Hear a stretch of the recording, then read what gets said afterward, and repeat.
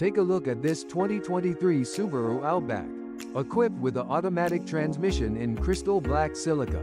This car comes with some great features including adaptive cruise control, heated seats, all-wheel drive, Android Auto and more. Come in and check it out today.